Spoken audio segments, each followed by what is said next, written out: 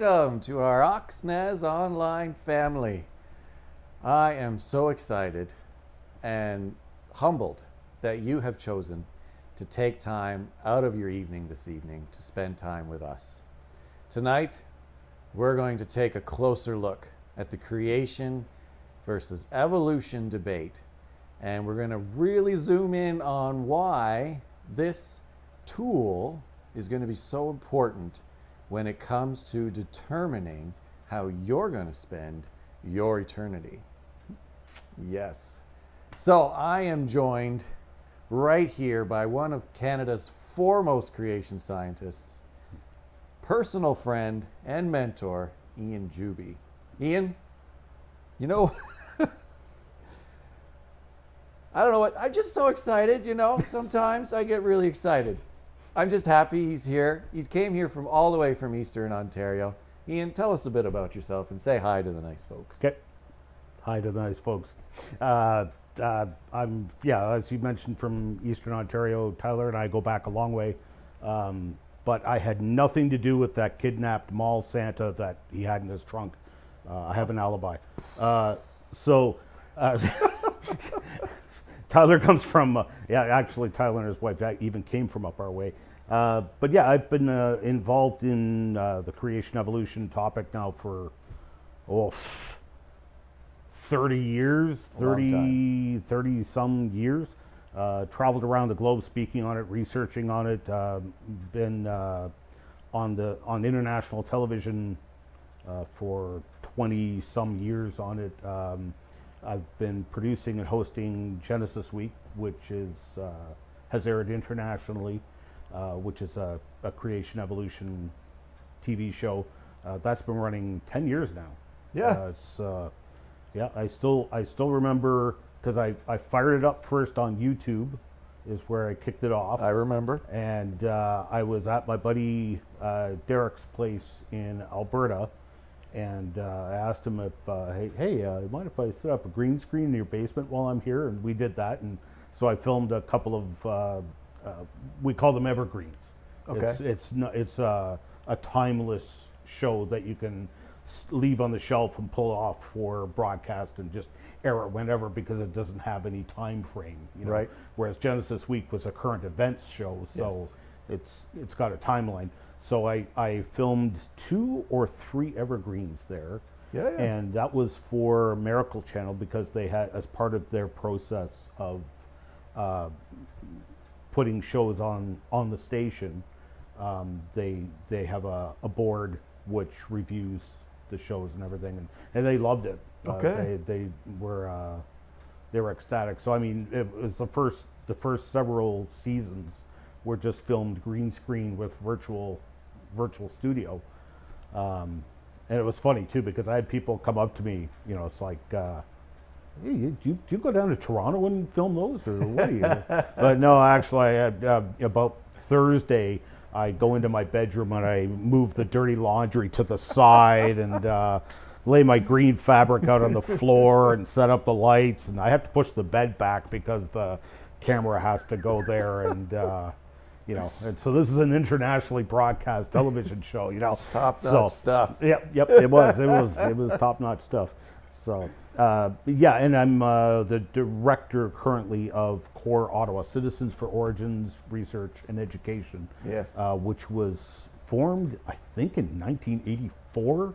It's Okay. an, it's an old time, old time, old school creation science group uh, out of Ottawa, Yep. and um, they took myself and Genesis Week under their wing, um, and uh, so they they solicit donations to finance the production and the airing of that show, which is still airing internationally. It airs right across Canada on the Miracle Channel, and uh, it's currently being carried in um, Michigan as well. Okay. Um, it was all across the U.S., and then I, I dropped that years ago because of the. Anyway, long story. I won't get into that. But we appreciate that. Okay, okay, yeah, yeah. We gotta, we gotta get moving. So uh, I, I'll, I will leave it at that. All right. And he's done a bunch of other stuff too, which you saw Yes. uh, during the countdown at the bottom. He's done a lot. Hmm. So much so that we don't have time to cover it all. Really, we don't. So here's what you can expect this evening. this evening, I have five questions that I've predetermined that I'm going to use to grill my guest over here. And then once those five are complete, we would love to take your questions. Uh, hopefully, my questions kind of spur you on or remind you of things that you always, oh, yeah, I remember wondering about that. and maybe they'll even link into another question that you thought. So, as we're going, if you questions pop into your head, write them down. I know I always forget by the time these shows come to the point where I can ask. So, I usually write them down, but you know, text them to yourself, whatever you need to do. But we do welcome those questions and we want them. Mhm. Yes, he is ready. He is prepared. Well, I don't know about that, but I'll try my best. A little burnt after today. Yes, yeah, I think Both of us. uh, I think people can see that. Yes. a little red. Yes, yes. We but it was spent- it was still a good day. It was a good day. a we day. spent the day out at Joggins Fossil Cliffs, just so you know, it's exciting. And I got pictures and video. It's pretty cool. Yep. Might put it up later. But for now, Ian, let's jump right into it. Okay. My first question Why should we care? Okay. Why should we care? Why is it important Yep. that today's Christian educate themselves on, or at least be aware of, creation versus evolution, the origins of life? Why do the origins of life matter to today's Christian? Because short answer is it's because it mattered to Christ.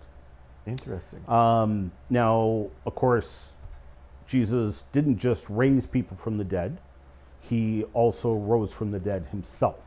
So obviously, he knows more about this than we do. Right. And uh, evolution, uh, it's it thrives on survival of the fittest, Yes. natural selection, uh, disease, literally, uh, death, the weeding out of the weak. Uh, that's what evolution promises you, whereas Christ promised you life. yes. So huge difference, and most people aren't aware of this. That um, at the time of Christ, uh, b- sorry, before the time of Christ, 550 years before the time of Christ, Okay. Charles Darwin was very much a late player to the game. Okay. Uh, Anaxander, Anaxander of Miletus, he was a Greek. yep. he had a theory of evolution that he had contrived of all of life evolving basically from the fishes. Okay. And this was 550 BC.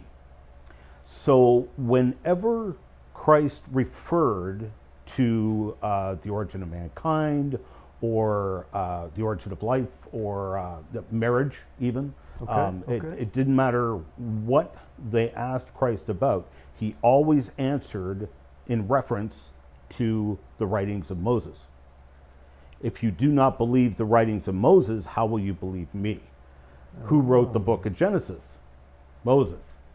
So um, he could have, and this is a really significant point, theory of evolution was already around at that point. yeah.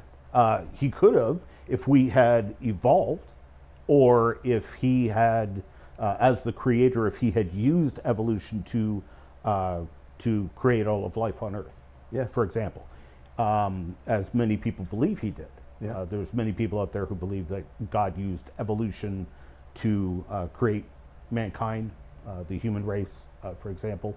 Um, but if he had, why would he say the creation account according to Moses was history, was true history? Right. He could have pointed to Anaximander Yeah. of Miletus. Oh, just take a look at the Greeks. Yeah. Uh, they, you know, they've they're on the right track. Right. Is what he could have done. So just as significant of what he what he said is what he did not say because it was there, it was available, Yeah. um, and Christ is the one that promised us the way that He was the way, the truth, and the life. So if His is the way to life, and evolution unapologetically says it is the way to death, Yes. literally, Yes. uh, that is the the backbone of evolution. Um, well, take your pick. Which one do you do you want? yeah. you know, uh, but Christ said, "No man comes to the Father except through Him." That's right. So, so that's why it's important. Okay. And I often tell the youth whenever this sort of thing comes up, well, you know, maybe each day of creation was X amount of years, a million or a billion or whatever. Right. And I'd say, well, Adam was created in day six. He lived through day seven and then carried on. So the dude would have been like two billion years old. Yep. Yep. I'm afraid that doesn't work. You're on the ball. Ooh. So that's that's where we end up at youth group. But I like this too. This was new for me, guys. I didn't know about this guy in Greek. Mm-hmm. Okay, very cool. So that's my first question. We're off to a bang. Okay, I'm liking good, this. good, good. Question two. Mm. Reading through the genealogies, Yes. we can determine a little a little bit loosely that the creation is about 6,000 years old. Young Earth, okay? Not millions and billions. But when we hold the Bible up against something like carbon dating, carbon dating gives us ages of 50,000 years old. So how how can a Christian account for that? How do we say, well, no, it was 6,000? Yeah, that's a, that's not just a really good question; it's a common question. And in fact, uh, Roberto brought that up today. Yes. when we were at a Joggins, um, and asked about carbon fourteen.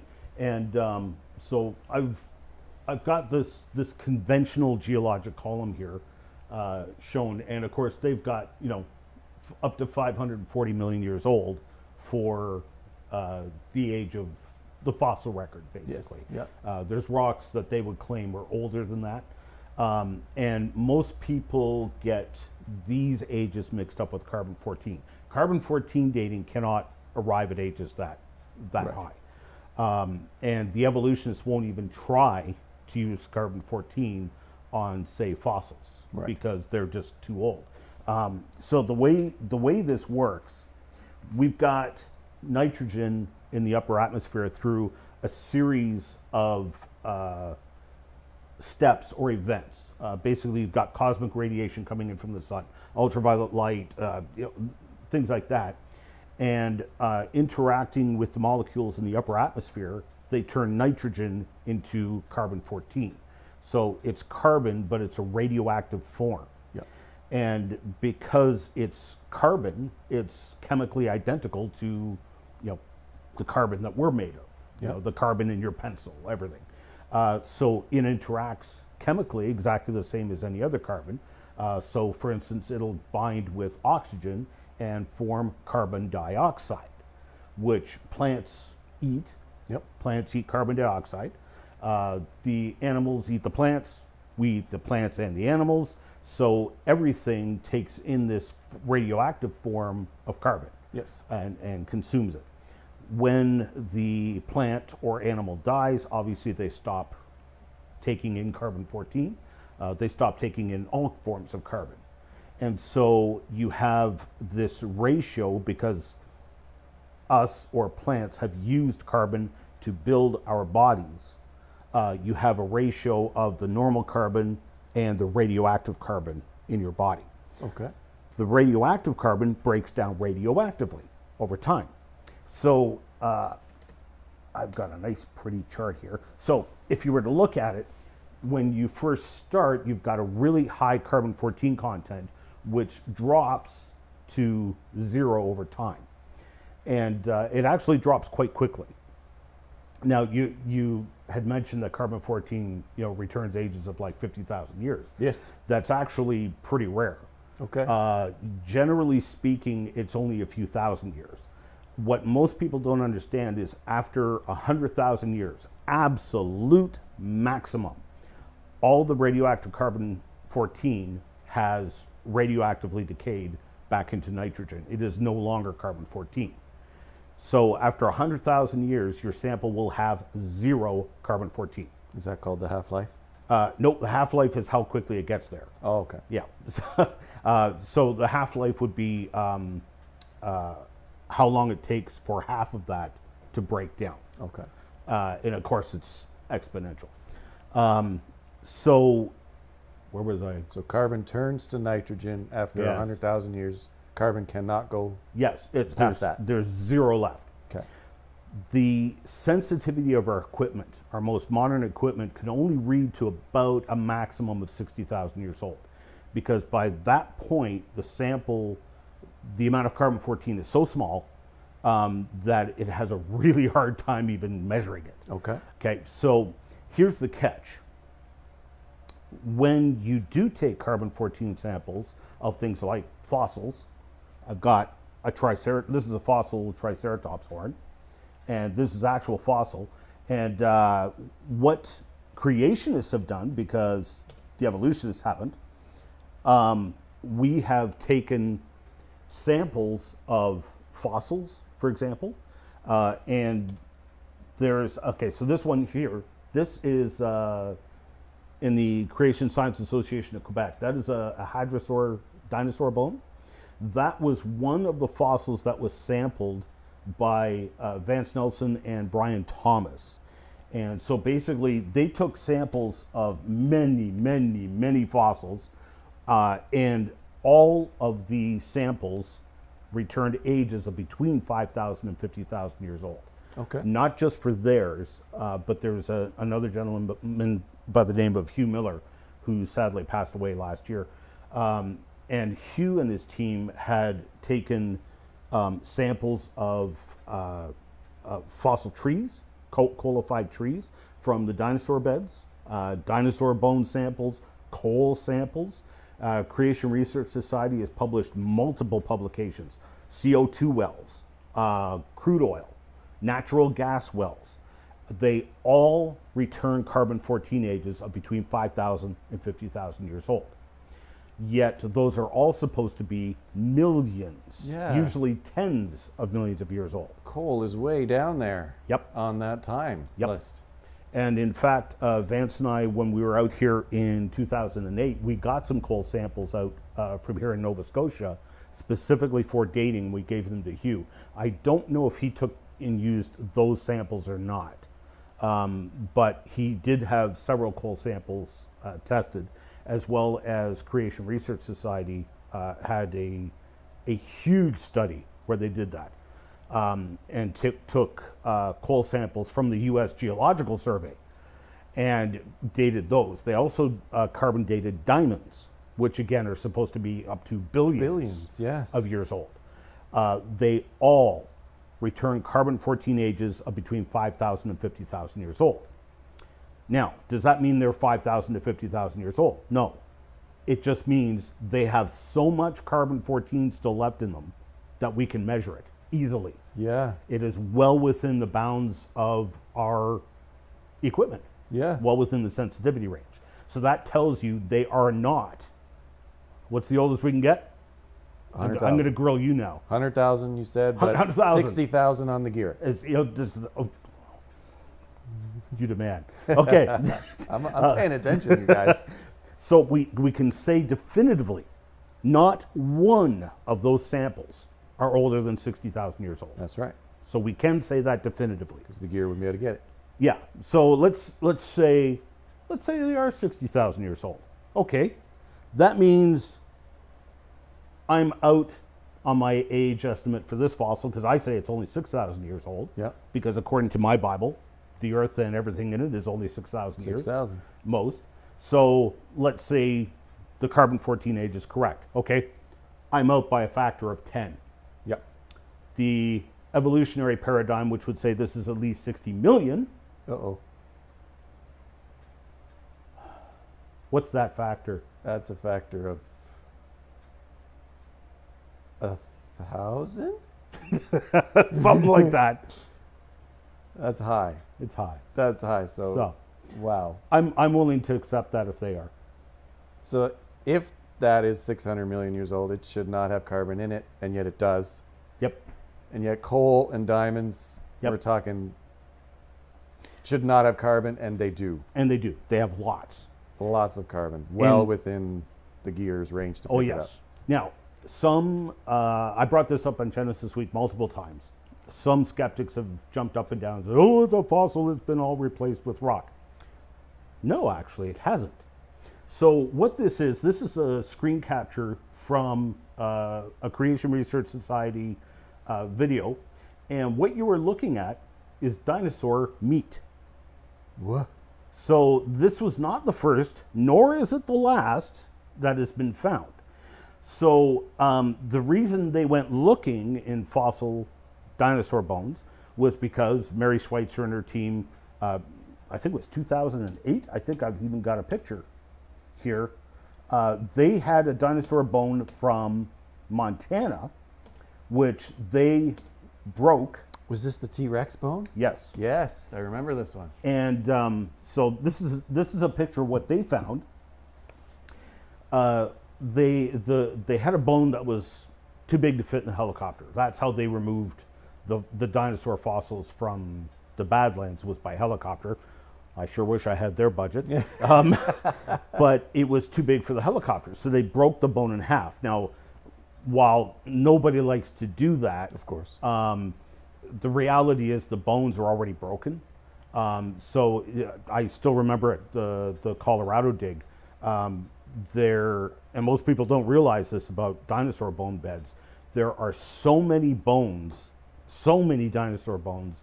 Uh, we had one there, and I still remember Joe Taylor eyeing it up. And I had worked for a couple of days helping to excavate this one clump of bones. And we dig around it trying to find the edges Okay. of the bones, right? Yeah. And we couldn't. There was no edges. Everywhere we dug, there was another bone. More bones. So I, at, at the point where we just where Joe made the call and said, "No, okay, we're just going to break the bones where they are." Yeah. So we plaster jacketed it around. That was probably a three or four hundred pound uh, lump of rock with dinosaur bones, and so we rolled it out of there and just let the bones break where they will, because we're gonna we're gonna glue them back together in the lab anyway. Sure. So anyway, with Schwe- Schweitzer and her team, they broke this bone apart.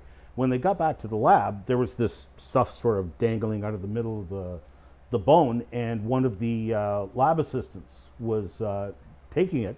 They soaked it in a weak acid to get rid of the minerals, Yeah. and they were left with dinosaur meat.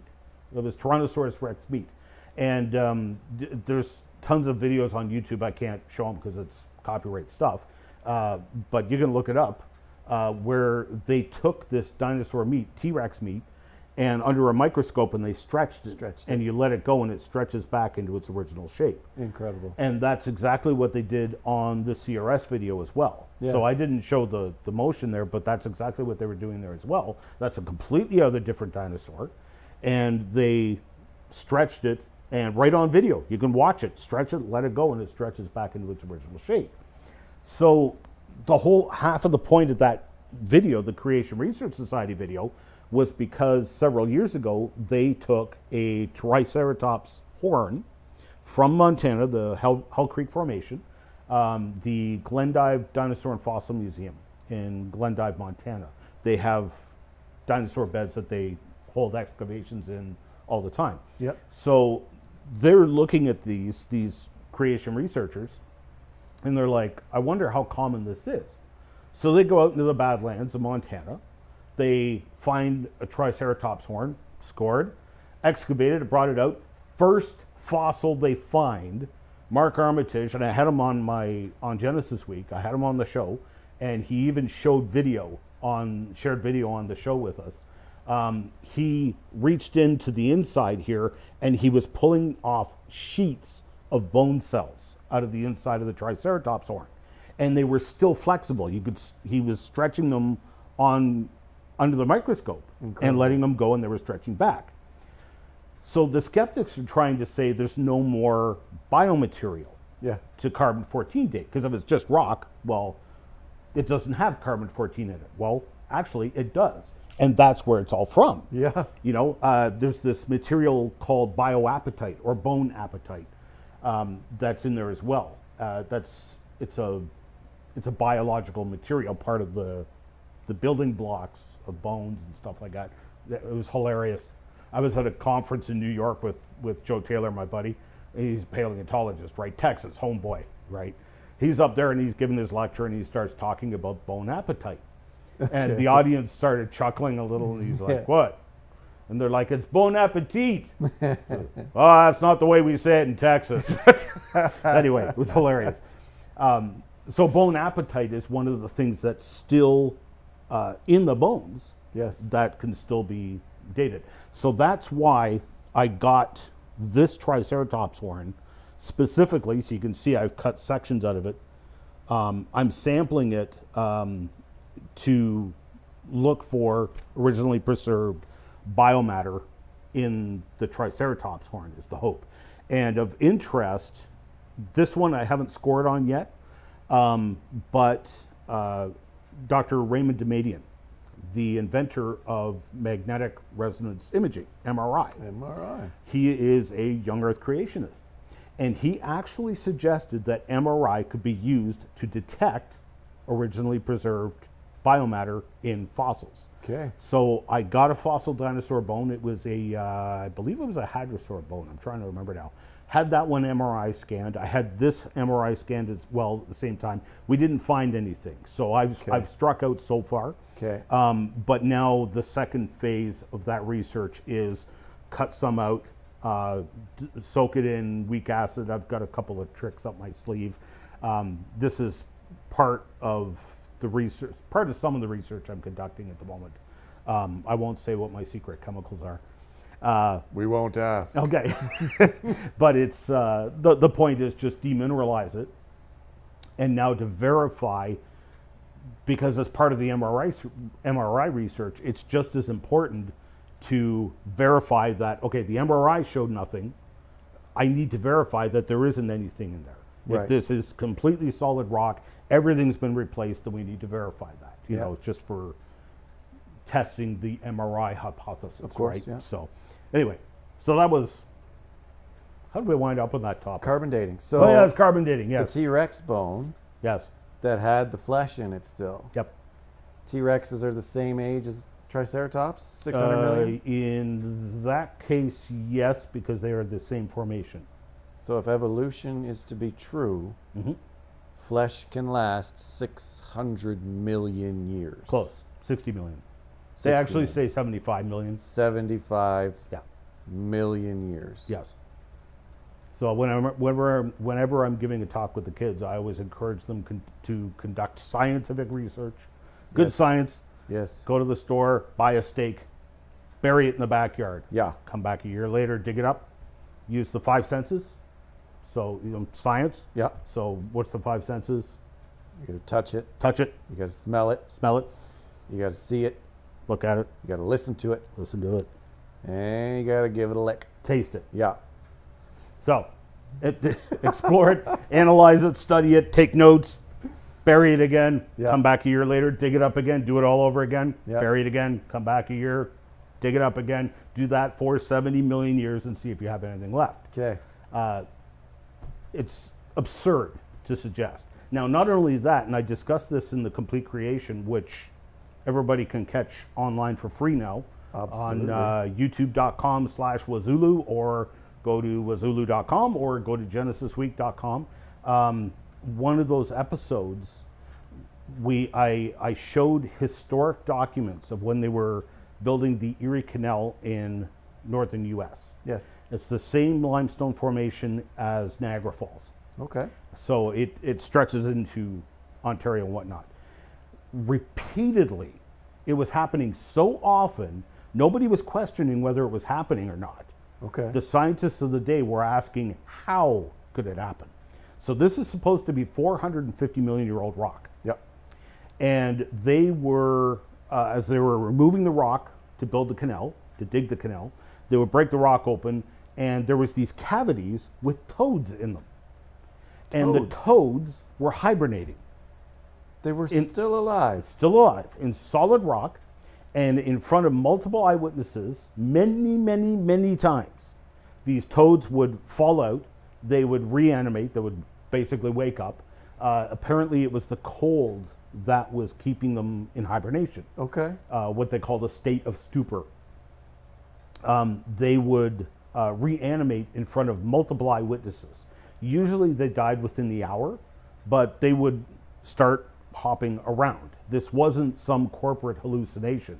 In one case, they reported it alive for several days afterwards. Um, so this was happening so often that the scientists of the day were asking, how could this happen? They, they believed it was rock from Noah's flood.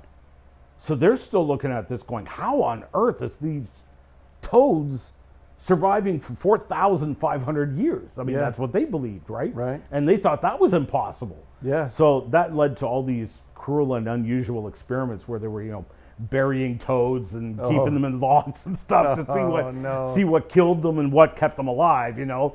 Uh, Okay. so anyway, the bottom line is once again now now we're not even talking about a fossil. we're right. talking about a living organism, and it wasn't just toads. They were finding clams as well, still alive in uh, hard clay marls under the uh, limestone, or sometimes in the limestone, and they were still alive. The guys, the guys uh, collected a bunch of them, cooked them up, and ate them for supper. It's like, you know, so this was this is the kind of stuff we're looking at, right? So And how old is that limestone again? allegedly 450 million years old. With live toads. Yes.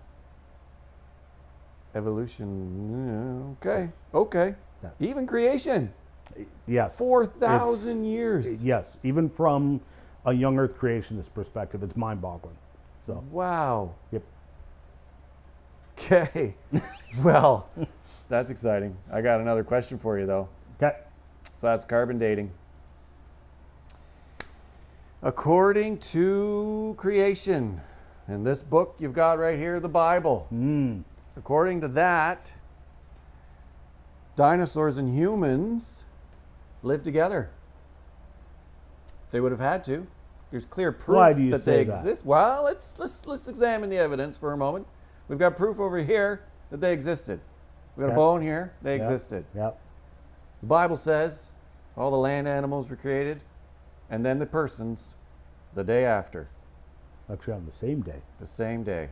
day That's- six. That's right. Day six was all of it Mm. for Adam. Not Eve, though. Eve was after. Keep that in mind. Okay. Okay. Yeah. Okay. Keep okay. that in mind. Most people just gloss right over that.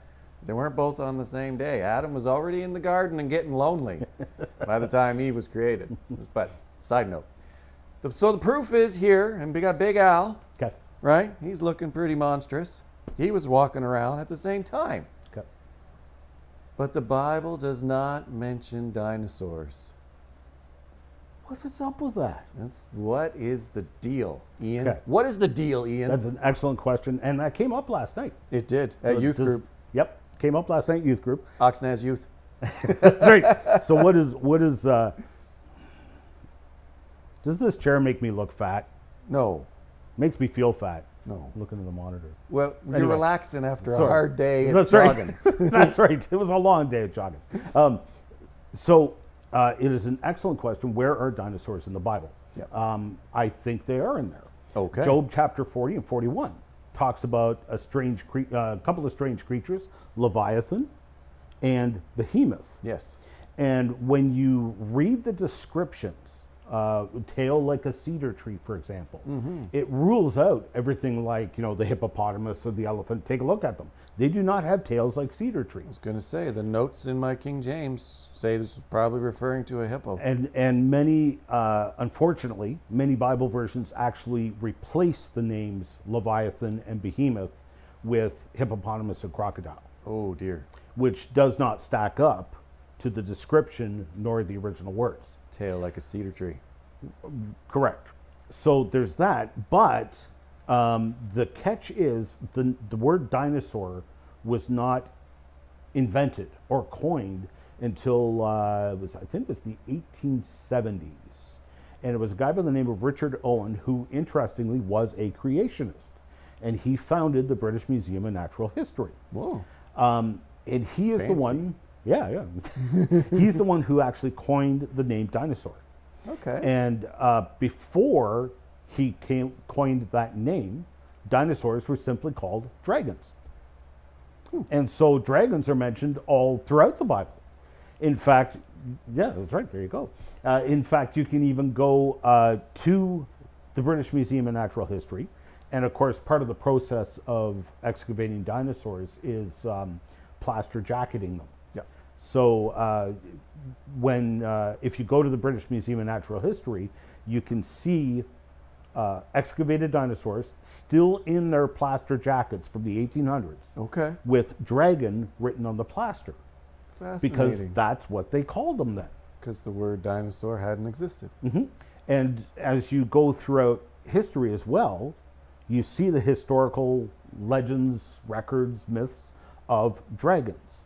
Uh, and it was, you know, in the medieval time, it was uh, it was the thing for uh, uh, a knight to go out and Yes. slay a Slay dragon. the dragon.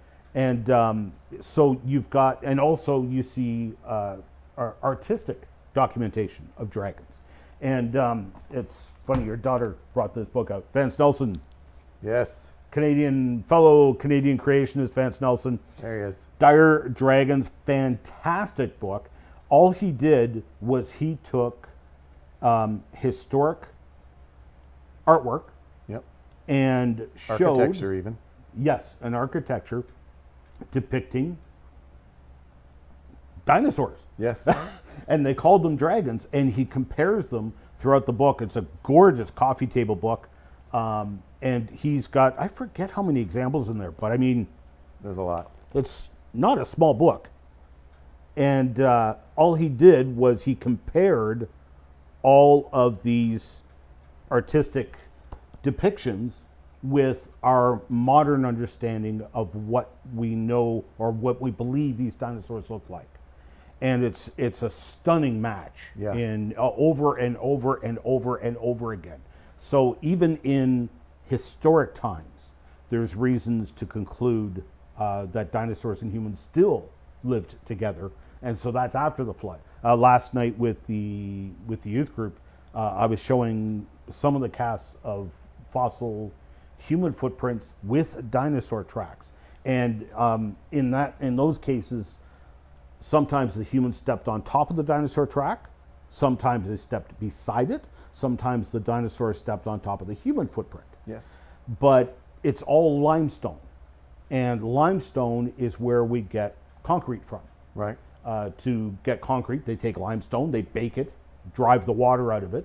It turns into a powder, it dissolves into a powder. They sell you the powder. Yep. You add water, reverse the chemistry, and you make pourable limestone. Yep. Um, and you can, so how, how fast is concrete set up? You know, if a person walks through the concrete, makes footprints, how much longer do you have for a dinosaur, for example, to come along and walk and make footprints in the same layer as the human? That day. Has to be Yeah. a few hours at most. Yeah. And so all of these footprints um, found together uh, demonstrate that humans and dinosaurs lived together. And it's funny because uh, uh, some skeptics will say, you know, well, that that rock was uh, like the Delk track, for instance. Um, they say, well, that rock's a loose slab rock. We we need to know the provenance of the rock, where it came from, the history, that yeah. documentation. And I agree, that's best. But it was a loose slab rock. Uh, the Paluxy River just literally rips up entire sheets of rocks, uh, the size of cars, the flash floods. It's just it's Okay, wow. unreal.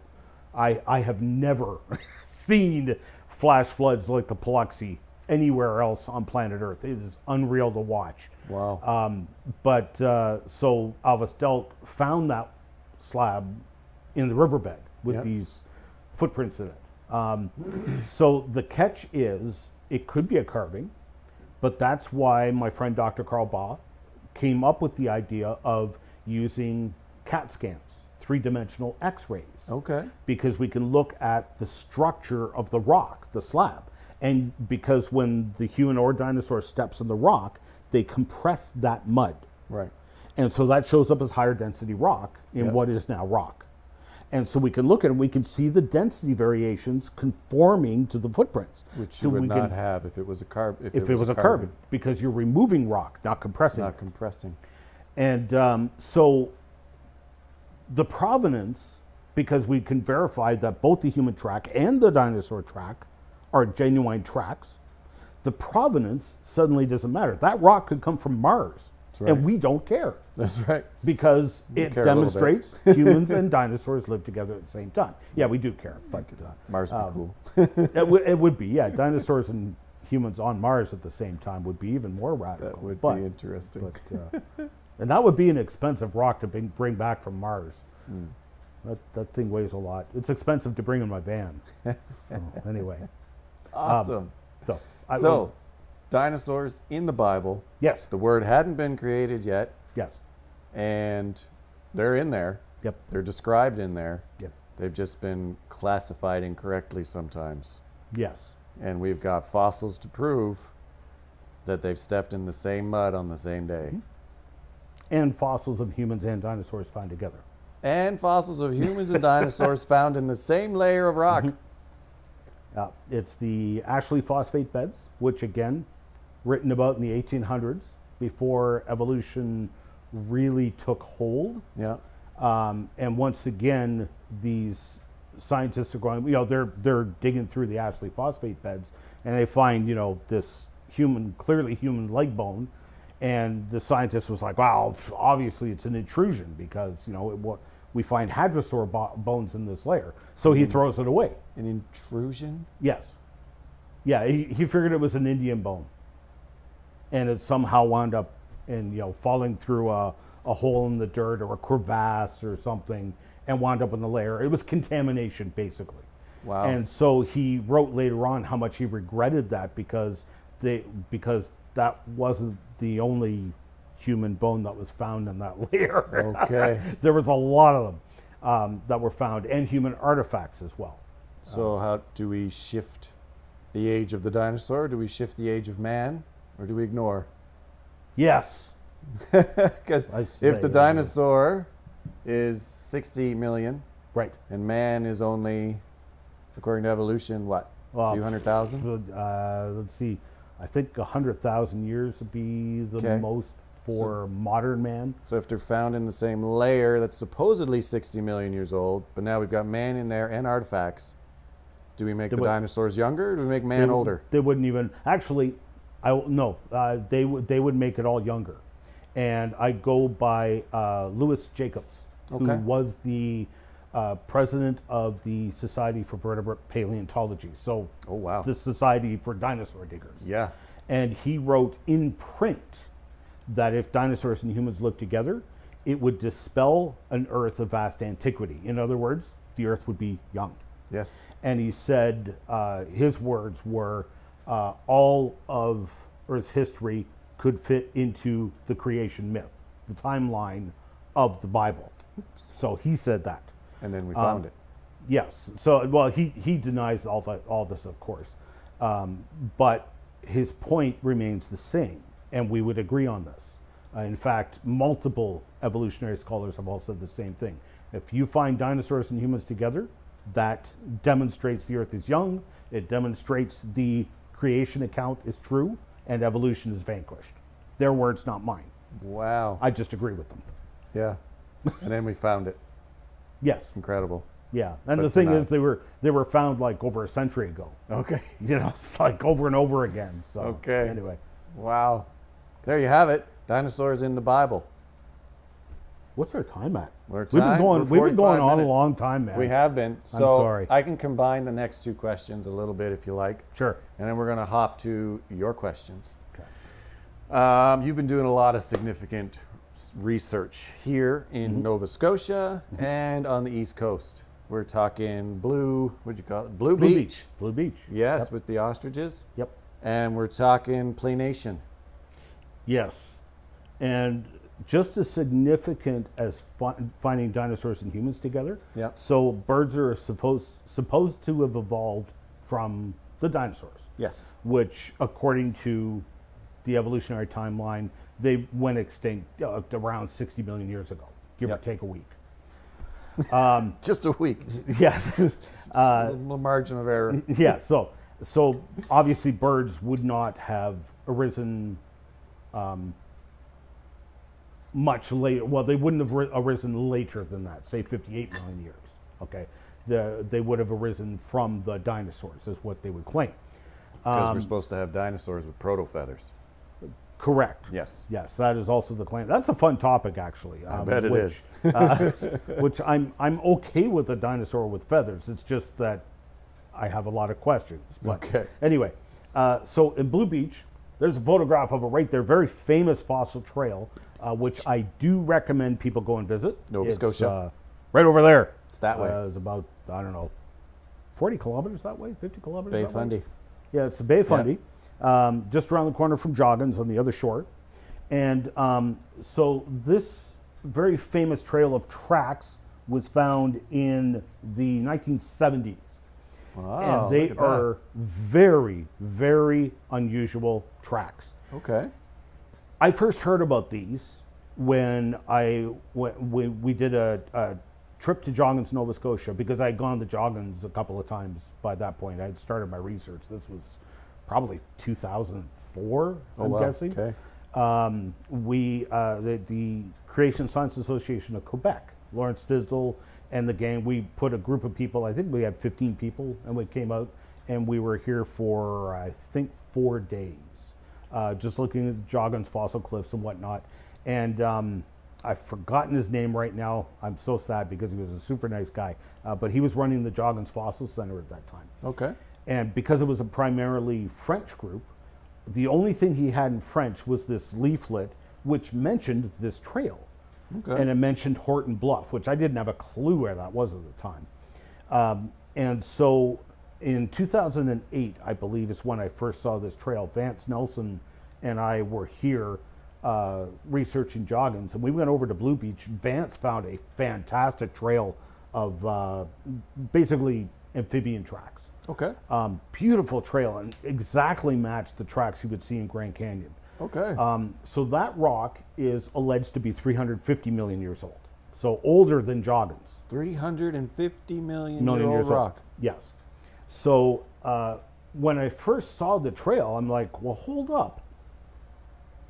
That's a right, left, right, left, right, left, right, left pattern. This was a bipedal animal. So what they had said in the leaflet, two yeah, feet. two feet, two feet, two footed. Uh, what they said in the paper was that it was a lizard-like creature Okay. that made the footprints. So I, I looked at this and I go, hold on a minute here. Uh, that was my first surprise was this, this is not a quadruped, a four foot, four, four foot. mm. For Um, quad. uh, this was a bipedal animal. And I didn't have a clue what it was. This is actually a cast I made of one of those footprints. As you can see, it's a very unusual C shaped track. And what's hard to make out, there's actually a claw impression off the tip of one of the toes. okay. And they were consistently like that in a right, left, right pattern. The inside toe had a large claw, which didn't always make an impression, but typically did. And as you can see, I mean, look at the size of this track. It's huge. It's, it is a big track. And I was looking at this, and it was probably a year or two after before I figured out what it was. And I took a wild stab because I'm going through in my head both in the fossil record and modern animals. What do we have that that is bipedal, that only walks on two legs, Yeah, two yeah. feet? And um, I narrowed it down pretty quick. And the one I think it was. Oh, and by the way, so this was. This is straight off the Museum of Nova Scotia Natural, the Natural History Virtual Museum. Okay. So this is their depiction of the lizard-like creature. Creature they call it Baropezia. This is their depiction of it making that trail footprints. Okay. They just subtly agreed with me. Notice they have it being buoyed up and only walking on two legs Two legs. instead of four. Yeah. So they inadvertently and subtly agree, uh, subtly agreed with my interpretation. This was a two leg. This was a creature walking on two legs in a right, left, right, left pattern. Yeah. Right. And the tracks do not. This is Baropezia. Take a look at those footprints and compare them to this one. Okay. Not the same at all. Not, not even remotely close. Not even close. and Baropezia is the lizard creature. Yes. So it gets a little wild because uh, I think it was 2008, a professor from New Mexico um, wrote about the Blue Beach Trail. And he claimed this was actually the impressions of the flipper from a fish. Wow. Okay. So he he said he rejected the Baropezia interpretation. No, no, no, no, no. This was this was fin flipper markings from Yeah. a fish. Okay. You know, uh, I, I reject that notion as well. I think it's ridiculous, especially because you can identify this creature. Uh, do, do you think you can identify a creature by its footprint? I do it all the time hunting. What? Yeah. You do not. up. I do. It's important to know what tracks your prey leaves. Bingo. Okay. Even amateur track uh, trackers Uber can, I, trackers. can identify a creature by its footprint and can off if they're even somewhat skilled they can even tell you what the creature was doing its behavior when it was making the footprints. So you can definitely positively identify a creature by its footprint. And i believe i have identified that creature. And so to to verify or refute this nice picture. Uh, thank you. I, I went to, uh, I think I have a picture of its feet. I do. This There was taken at the Del Alta Ostrich Ranch in Alberta. Uh, Cornelius and Diane uh, were the ones who owned it. Uh, he was actually a pastor. Um, so I was just looking for an ostrich ranch, and I found this, these these folks out in Alberta, and uh, called them up, and it was they were very helpful. They they uh, let me walk their ostriches through uh, mud. We poured a bunch of water on the ground, and Yeah. it was not easy actually. It was a lot. It was okay. a lot of hard work. Um, but as you can see, ostriches have very unusual feet. They've got two big toes, a prominent claw off the inside toe, exactly like the blue beach tracks, and exactly like the blue beach footprints. And what I discovered when I had the ostriches walking through deep mud, deep soft mud, they tended to hunker down with their outside toe Okay. and it completed the C shape.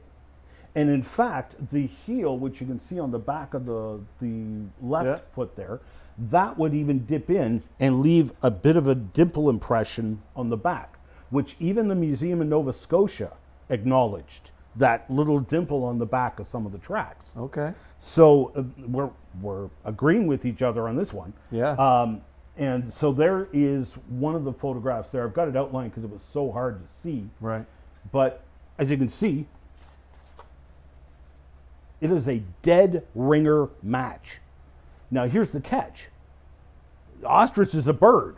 That's right. Birds were not supposed to have evolved before at least 60 million years ago. Why are their footprints appearing in rocks allegedly 350 million years old? Footprints of a bird. Yes. Well So- before dinosaurs. Yes. Well before, well, no, this wouldn't be before the amphibians. This would be about the time of the amphibians, uh, Okay. according to evolution. But um, this is just as destructive to the evolution model as finding humans and dinosaurs together. Okay. Here's the catch only, uh, I think, one or two kilometers from this spot in the 1800s, famed geologist William Dawson from here in Nova Scotia found this fossil, and you can see the uh, the you know amphibian or lizard footprints. They're quite prominent. Yep. You see the B and C up there, B and I do. and I don't know if you can see that on camera. I don't know if you guys can see that or not, but right up here, there, I what looks to me like some sort of seagull, maybe. Yep, Yeah, wading bird. some sort of bird. Okay, at the same time. It's it's I, this was this was William Dawson that found this. Okay. okay. And um, so this was this Sternberg guy in 1933 uh, published this photograph at uh, Geological Society uh, of the U.S. And here's what he said: He said superficially they resemble tracks of some of the wading birds, Okay. but of course there's little probability of their having been made by birds Because the rock's so old. because the rock's too old. Believe believe the age of the rock, not the evidence you Yes. find.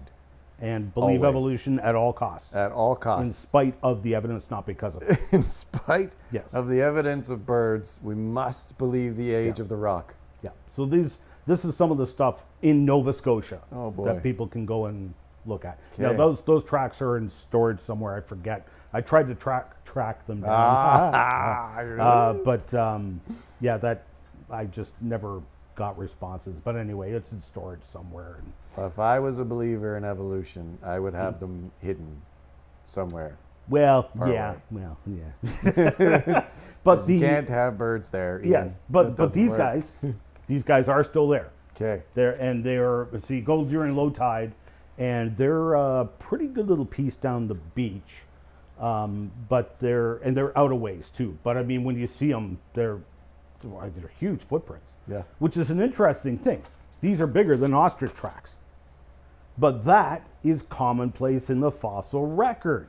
Almost all organis- organisms we find in the fossil record are bigger, Bigger. than their modern counterparts. That's right. The uh, the fossil plants we looked at today Yep. at Joggins, uh, they're still alive today. Uh, the horsetail rush. Uh, hey Roberto, how big was the that horsetail rush fossil you found? It's like like that big. Yeah, around. it's like this big around, right? Yet today, you know, it's one centimeter around that same plant. Yet we find in the fossil record, it's the same uh, with uh, dragonflies. We find dragonflies with literally five foot wingspans. okay. Um, uh, what are some of the other? Uh, and that's another book that Vance did. Okay. Uh, I forget the title right now, but he did another book just on that topic of giantism in the fossil record. So it's just another example of giantism in the fossil record. It Yeah. lines up with what we see elsewhere in the fossil record. Incredible. So anyway, That's we're running a out lot of, of evidence. Yeah, we're- That's a we're- lot of evidence. we're running out of time, so I'll, I'll skip over the planation. We'll skip over to Play Even though that's in Nova Scotia and you can go see it. Yeah, that's right. Okay, so let's have a look here and see if there are questions from y'all. Um, Danielle, I don't know if you got any from YouTube. Oh, we got an interesting verse here, Ian. Mm. Jesus said that anyone who doesn't believe in, G- in Genesis won't believe in him. That's kind of what you were saying. This is Luke 16 31. Yeah, yep, that's uh, that's uh, what do you Paraphrased. call it? Paraphrased. Yep. But yes, yes. Oh, and they Rick would like to know is that an Archaeopteryx fossil behind you full size and how many have you found? Excellent Tell question. Tell us about this Okay, fossil, so it is not Archaeopteryx. Good, good guess though, because Yes. it it does, uh, I- and I know why he's asking that, because it is. This is a Coelophysis. It's from Ghost Ranch, New Mexico. I didn't find it. This is actually a pretty famous fossil.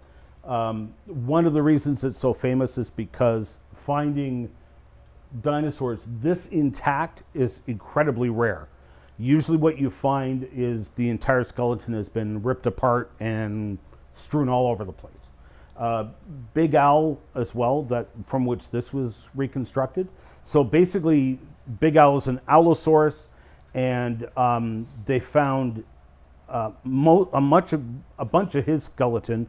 But uh, what the the artists did, they took the bones and they did the uh, forensic thing, and the artist took the bones, laid clay on them, and tried to build up what what Big Al would would look like. Okay. Uh, using the same forensic technique, Right. you know, from when they How you know, make a find yeah, they find a skull of an unidentified person, and Yep. so they use that technique, which is how they came up with how Big they Al. made Big Al. That's how they made Big Al. Look yeah. at that. Uh, but Big Al, his skeleton was found in the same pose this one is found. We, it's so common to have the head and the neck arched back as far as it can go. It's called the opisthotonic pose. It's so common it actually has a technical name. And basically, that is evidence of death by drowning. Um, it was pulling its head back while it was still alive Trying to breathe. trying to breathe. And you'll notice also it's a little off camera here, but the tail as well arches all the way back as well. Can you see that in camera too? Oh, almost. Oh, yeah, you can see it a little bit there. Yeah. Okay, so the tail arches back as well. Uh, all for the same thing. It's under stress. Uh, it is being asphyxiated to death. And what you can't see on camera is even though it's the size of a dog, it is no longer the thickness of a dog. Uh, it's now about the thickness of uh, McDonald's double Big Mac, I would say. Okay. Uh, so- Interesting. um, and again, this is common in the fossil record. Big Al's head, if you look at it from the front, yeah. uh, you'll notice it's very narrow. Very narrow. I and, noticed that. and that's because it's also been squished. Okay. Um, so this is um, quite common in the fossil record. I don't have any other fossils here to show, uh, but like Green River Formation, the the fossil fish, for example. Did you have the dinosaur or the turtle? You, you know what? reach the sure, turtle. the turtle is an excellent example. I can. That's reach from the, Green turtle. River Formation. I can reach the turtle. So- Has- hand it over here because you have the close-up Okay, camera. okay. So this turtle, th- this is a cast, and you can even see the scutes uh, from the bottom shell. It has been squished so badly So dramatically. that even the bottom shell uh, basically squished outwards. Okay. Um, and so this is very common in the fossil record. So they were uh, buried alive, killed by a flo- by floodborne muds and sediments, Yep. and then the resulting pressure on top, which was in some cases miles of dirt and mud piled on top. Wow. The weight of all that, the pressure crushed all these fossils, sometimes paper thin. Yeah. Um, the fossil fish for which the Green River Formation is most famous, uh, they're usually, oh, I would say two, maybe three millimeters Wow. thick. Um, and in the Big Valley Creation Science Museum in Big Valley, Alberta, Harry, the owner there, has this huge slab of Green River fossil fish, just a beautiful fossil. It's got dozens and dozens of these fossil fish. Even the eyes are preserved in that fossil. Incredible. Uh, you can, you know, all the scales are preserved, the skin, the flesh, the eyes, just stunningly preserved. And there's dozens of those fish in that slab, and you can go and see it for yourself at the Big Valley Creation Science Museum. So, Incredible. Anyway, good question. It is not Archaeopteryx. I don't have Archaeopteryx up here, or else I would show it. Uh, but Archaeopteryx is a very famous fossil, which also has its head pulled back, arched back. I can reach a fish. Yes, that one came from Germany. And that critter is still alive today. Do you recognize that fish?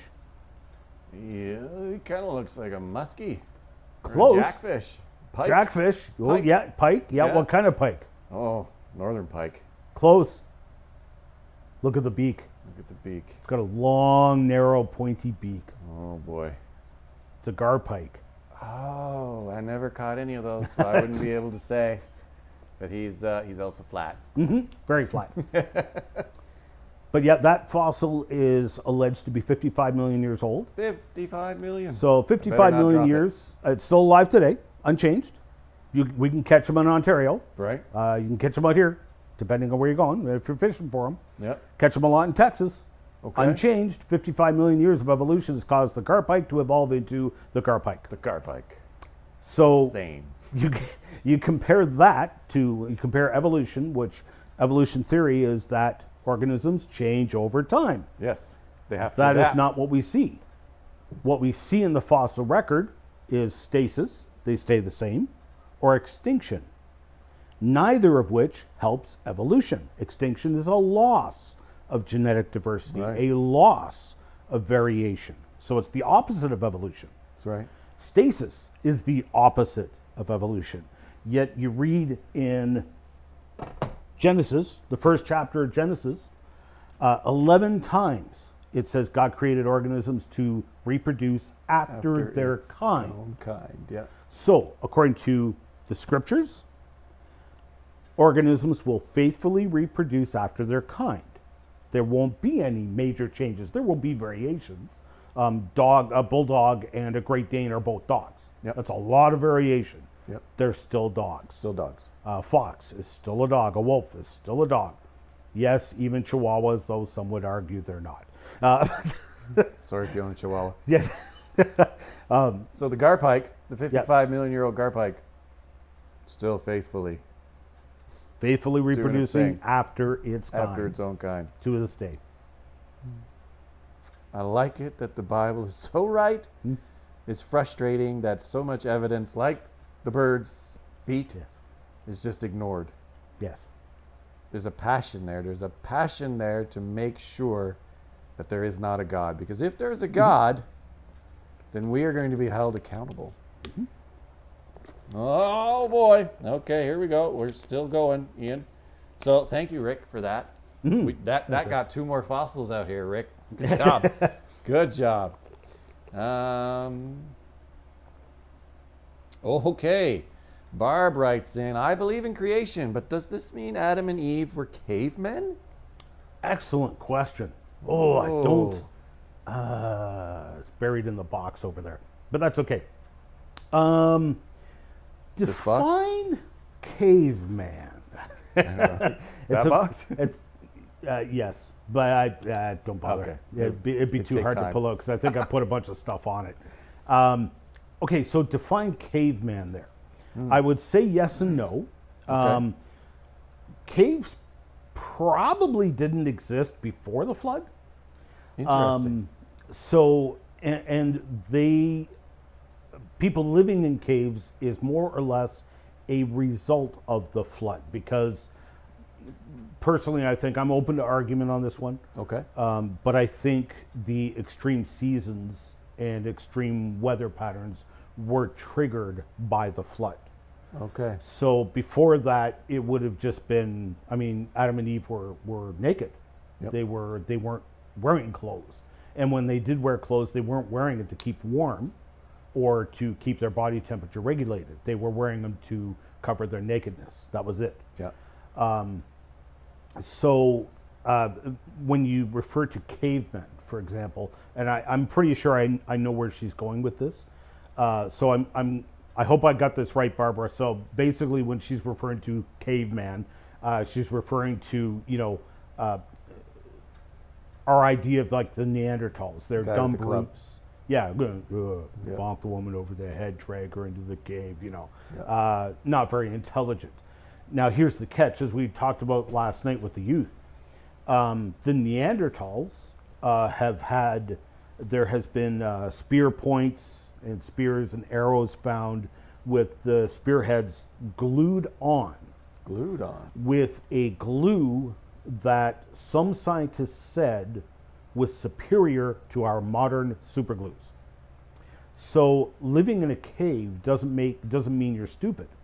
Okay. Uh, King David lived spent an awful lot of time sure in caves. Uh, for example, had nothing to do with intelligence. It had to do with hey, it works. Necessity. Necessity, yeah. You know, you're uh, um, you, uh, what's the word? You are not desocialized. But at any rate, there's a lot of reasons for living in caves, Okay. and it has nothing to do with intelligence. Um, in fact, I think uh, I've been trying to find this again, and it really bugs me that I can't find it. Uh, I think it may have been one of the apocrypha. Someone somewhere mentioned how Adam weighed the planets, and basically he deduced the weight of the planets. So Adam, uh, this is very interesting to me because Adam was was a super genius. Adam could, no doubt, in my mind, uh, Adam could have performed full calculus calculations in his brain. Okay. He wouldn't have computers because he didn't need them. His brain was better than a computer. Okay. His brain was better than our modern day supercomputers. He was super intelligent. Eve was as well. Um, and so when we look through uh, historically, and I, I bring this up last night, I mean, the pyramids, uh, you know, we look back on this and there's TV shows now based on the idea that the pyramids were built by aliens because Right.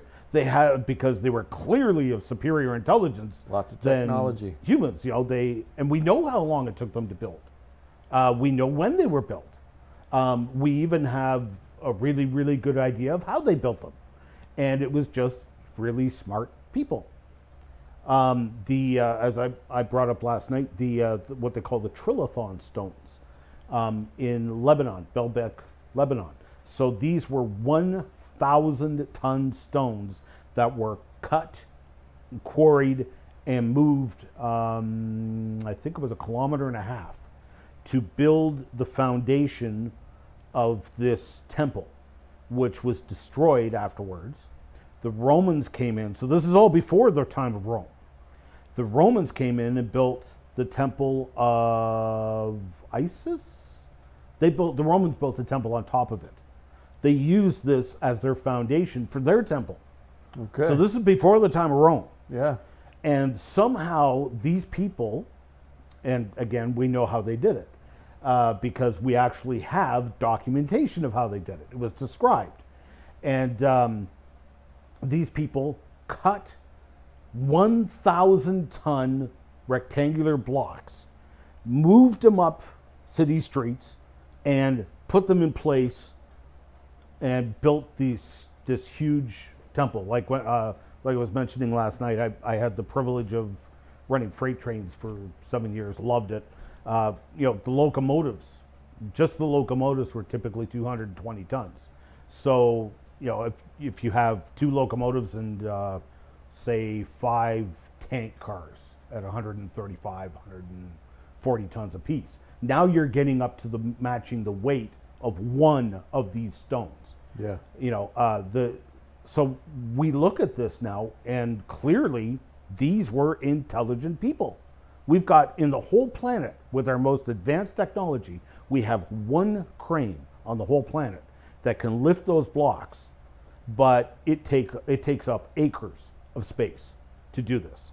And these people were moving the blocks up city streets, city and streets. putting them in. Which the crane could not do. Yes, So all that to say, Barb, yes, they may have lived in caves, but they were super smart. yes.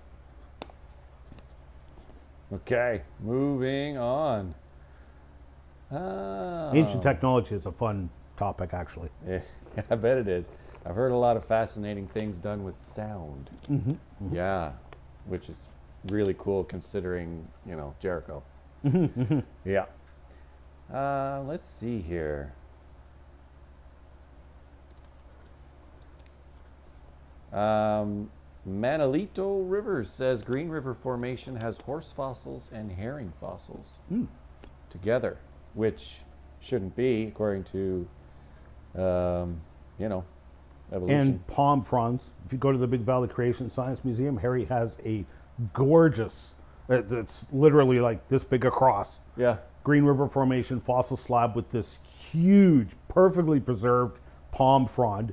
And here's the herring fish in the same slab, uh, all prepped out and everything. And, uh, wild. Yep. Uh, alligators, turtles, like we saw a moment ago. Yep. That's from. Hey, we're back. Sorry about that, folks. We do have one more question. We've Bill Taylor. Um, did the genetics evolve or flight capability in birds initially? Hollow bones, feathers, etc.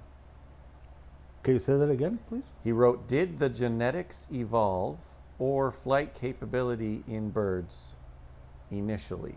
Maybe four? Right. Right. He put hollow bones, feathers, etc. Okay. Genetics for birds. Did they evolve? Okay, I would say no. I would say flat out that would be impossible. Okay. Um, because it's it's more than just that. Because like for, for instance, hollow bones, he's he's correct on that. Uh, but that is more for cooling rather than weight. Okay. And the way that works, uh, birds actually have a very sophisticated um, uh, cardiovascular system. Uh, their lungs, for instance, are not like ours. Our lungs are bellows. Okay. So we inhale and exhale. Yeah. Birds, air comes in one end of the lung, goes out the other. And so uh, there's several things going on there. First of all, the oxygen and the blood are running in opposite directions. And uh, we engineers call that, uh, uh, well, I forget what we call it, but it's a common engineering tactic. Uh, we used it at uh, Delta T Max when I was working on the cool suits. Uh, For the astronauts. Yes, they, they used our cool suits on the space shuttles. Um, NASCAR racers used them, all that. I was developing a, uh, a hot suit for cold water divers. Okay. Um, but basically, in heat exchangers, it's the exact same principle. Right.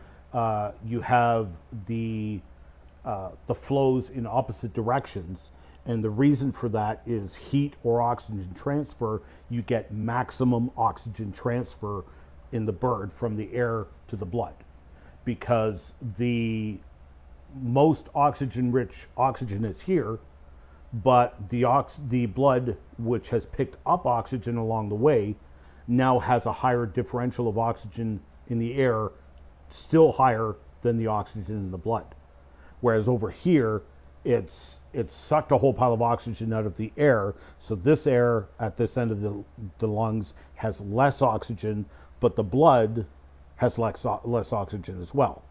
So it gets maximum transfer. If you go in the Okay. same direction, Yeah. it's way less way less efficient. Yeah. Once the air leaves the bird's lungs, it then travels through the bones and acts as cooling. So it's a cooling system as well. Okay. Um, so the I, I I'm not quite sure where Bill was coming from with for that because to evolve all of this in unison, the the genetic changes involved. Uh, what did it evolve from? Yeah. Right. Um, there are many uh, who believe that the the birds evolved from dinosaurs. Now, Yeah. dinosaurs, interestingly, many of them have hollow, hollow bones. Uh, I've I've found some in Alberta uh, where the you know the bone was clearly hollow. It was infilled with the same sediments as the surrounding uh, area.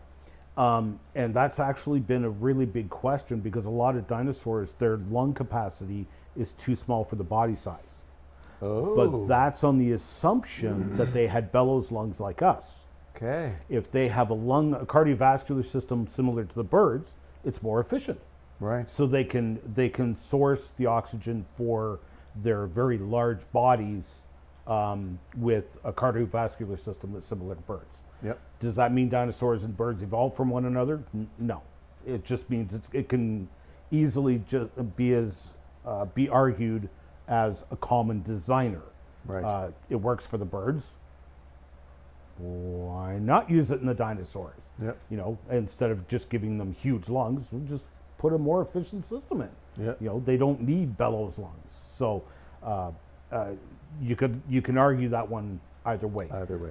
Uh, the the other thing is the genetic changes that would be required to say evolve a dinosaur into a bird.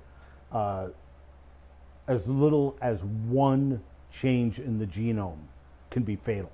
Right. So you take one base pair in the genome and you remove it or swap it out. As little as one change can be fatal.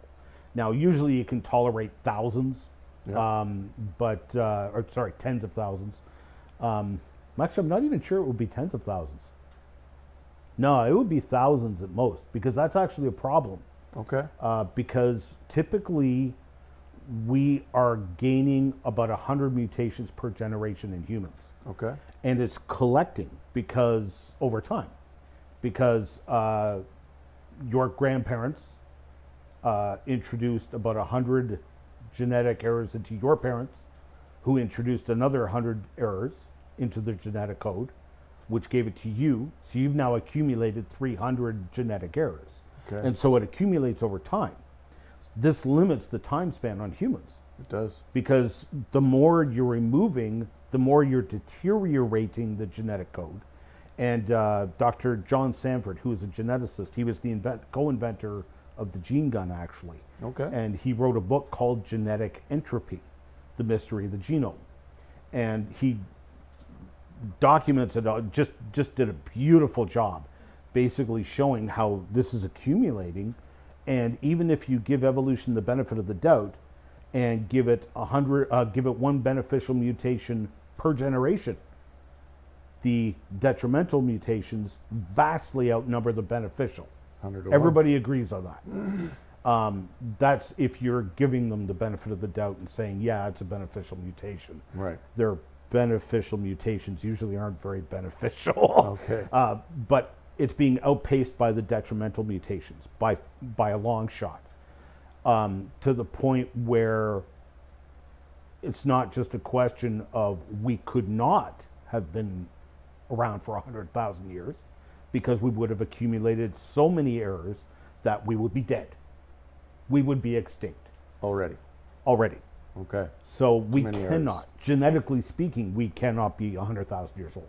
Wow. So now the question it's it's such a high rate that it's actually uh, in fact one of the articles uh, Kondr- Kondrashov, a Russian guy, Russian geneticist, he subtitled his paper "Why Aren't We Dead 1,000 Times Over," Right. and he was talking about the genetic mutation load.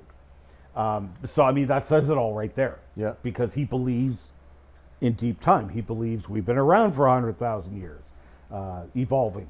So his question was very valid. Why aren't we dead a thousand times over? Evolving into lesser and lesser versions of ourselves. Yes, sicker and sicker. Yeah. Okay. Yep. So couldn't we use that to count backwards and figure Uh, out just how long we've been here? Which is kind of what Sanford did. okay. Again, that comes back to you know this point of question about the flood, Okay. because before the flood, people lived to almost a thousand years old. Right. Something happened at the time of the flood. Yes. We see giant animals and plants. Uh, presumably, people were bigger as well. They certainly lived longer, according to the biblical records. Um, something changed at the time of the flood, environmentally. Now, the plants that we're seeing at Joggins are, well, the lycopods are like a meter in diameter, and today they're literally a centimeter, Yeah. maybe two in diameter. Uh, so what is that? That's a hundredfold size difference. Um, insects have gotten smaller. Everything's smaller from compared to the fossil record. Something radical happened at the time of the flood. Something changed dramatically, and we are deteriorating. Um, where was I going with that? Well, I was I asked you about counting backwards. Oh yes. Yeah. So To figure out how long humans have been here. yeah. So the question, the question from a creationist perspective, Yeah. would be uh, you, you from an evolutionary deep time perspective, you can't count backwards that far. Can't get that You just far. can't. Um, from a creationist perspective, okay, are we counting back 4,500 years to what we believe is the time of the flood, or are we counting back 6,000 years? Uh, I don't know. It's hard to say because so much changed after the flood. Something radical happened. Gotcha. So, Okay. Um, Bill likes your answer. okay, go. Thank you, Bill, for that question. yes, thanks, Bill. Um, okay, we'll take one more because we're going on 90 minutes here. Julie Mick says, How do those creatures preserved in amber fit into the fossil record? Are they easier to analyze? So we're going to throw back to Jurassic Park here. Okay, that that's a really interesting question, actually. Uh, th- thanks for bringing that up, Drew. That's a good question. So amber is a bit of a mystery. So for those who are not familiar, amber is basically fossilized pine sap. Okay. Okay, so uh, you know, here in Canada, we got a lot of pine trees, and you know, you can see the sap dripping off them. You know, and um, so if it collects, uh, an insect gets stuck in it, it can encase the insect, and in the case of amber, it then gets buried, compressed, and preserved as a in in sort of fossil form. It's almost like plastic. Uh, I've got a lot of amber in my collection, actually um, which actually uh, uh, sidetrack again. Um, because we were just talking about the, the dramatic environmental changes and carbon 14 dating. Yes. gary landis back in i think it was the late 80s he was from the us geological survey. He did something very smart. He took amber samples from the dinosaur age. So amber samples that are dated to the cretaceous the time what evolutionists are time, dating the time of the dinosaurs we would say it was from before the flood okay he took these amber, amber samples and they had air bubbles in them so he crushed them in a vacuum chamber Okay. and extracted the air out of the bubbles, which presumably is a sample of the atmosphere from the time of the dinosaurs. Time of the amber. And yeah, and so um, there was a number of remarkable things. It was increased atmospheric pressure, which may or may not be atmospheric pressure increased because remember, this amber has been compressed. Right. like all our other fossils, okay? It's been compressed as well. So that may or may not hold true. But let's go with it for a second. It, it showed a dramatic uh, pressure differential, a greatly increased atmospheric pressure content. It showed a higher carbon dioxide uh, content. Okay. So, if, uh, in fact, ten, a tenfold increase. 10. So, That's um, a lot of carbon. it is, and it's also interesting from a physiological perspective from for humans, because uh, I I haven't had a problem with asthma in many years, but when I did, there was a lot of study by a Russian doctor actually, who found that um, uh, he could uh, resolve asthma attacks by simply introducing carbon more carbon dioxide into the person's air. Well, sir. So he was teaching children to play a game and hold their breath when they were having an asthma attack. And this completely, what this does, the increased carbon dioxide levels cause the, uh, the tubes in your lungs to open up and expand. Okay. The opposite of an asthma attack. Yeah. And um, so, it, so it's interesting. It's almost like we humans were designed to operate in an atmosphere with a higher carbon dioxide level. That's that one could interpret it that way. Of course, yeah. So the other thing with carbon 14 dating, if that holds true and carbon dioxide levels were 10 times higher in the past, then that affects our carbon 12 to carbon 14 ratio. You have way less carbon 14 now that compared to carbon 12. So the plants are going to absorb way less carbon 14 because they've got more carbon 12. Okay. So they're going to look older because they have a much less, a much smaller amount of carbon 14 in them. Okay. Okay. So uh, that uh, he also Landis also found that was increased oxygen uh, in the air bubbles. So this is all really interesting. Um, so that was that was the sidetrack. I apologize. Uh, coming Julie's back- waiting. yes. So now coming back to the amber, amber is actually a bit of a mystery, and um, no, I better not talk about that. Uh, Vance just shared some top secret information about Oh, amber with me not long ago. Yeah, it's it's leading. It's pretty dramatic research. Um, Stay tuned. yes, yes. Hopefully, hopefully we can get him to talk about it. Uh, but anyway, amber is a real mystery because there is a lot of it in the fossil record, Okay. Um, I didn't know that. and nobody really. I mean, how do you explain that? Now, It's a lot of pine trees. it's a lot of pine trees and an awful lot of sap. Okay. Why? Now, in the context of a global flood, it becomes really interesting because you have a flood wiping out entire forests, Yes. ripping them up, smashing trees, getting pine sap all over the place. You have floating log mats on the ocean. Right. You have insects and animals climbing onto these floating mats trying to escape the flood, Yeah. uh, getting caught in amber. Uh, and that amber either uh, sinks to the bottom of the ocean uh, during the flood or sinks with the floating log mat um, uh, with the insects in it and everything. So, within the context of a global flood, you have an explanation for uh, a lot of a lot of what, lot of what we find, right? Yeah.